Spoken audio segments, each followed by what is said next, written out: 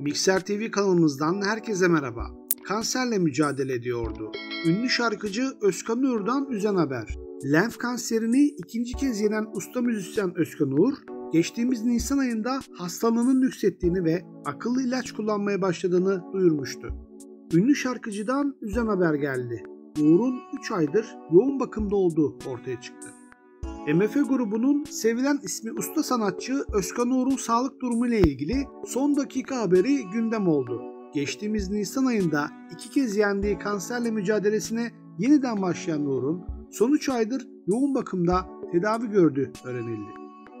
Birsen Altuntaş'ın haberine göre son günlerde ünlü isimlerin paylaştığı Beyaz Kan Arıyoruz ilanının Özkan Uğur için istendiği ortaya çıktı. Aranan kan kısa sürede bulundu. Özkan Uğur'un vücudundaki kanserli hücrenin temizlendiği ancak böbrekleriyle ilgili sorun yaşadığı duyuruldu. MF grubunun bir diğer üyesi olan Fuat Güner, yakın arkadaşının sağlık durumu hakkında açıklamalarda bulundu. Özkan Uğur'un 3 aydır yoğun bakımda olduğunu doğrulayan Güner, kemoterapi aldığı için böbrekleri ve ciğerleri çok zorlanıyor. Ciğerlerine müdahale edildi ve bir miktar su çekildi. Ama doktorlarından aldığımız bilgiye göre 4-5 gün içerisinde dostumdan güzel haberler alacağız dedi.